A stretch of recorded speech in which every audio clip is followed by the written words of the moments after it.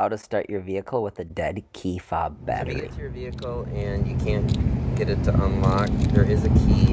You're just gonna pull this to the side and then slide this silver tab up. So you'll slide that over and pull this key out. And once you have the key out, you're just gonna put it in and you can unlock it. Once you get into the vehicle, all you're gonna do is you're gonna take your fob because when you push on it, step on the brake, nothing's happening.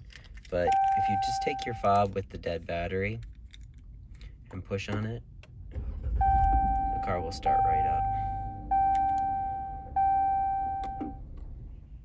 And then just to show you that this works without the battery, take the fob, and we're just gonna push it, step on the brake, and it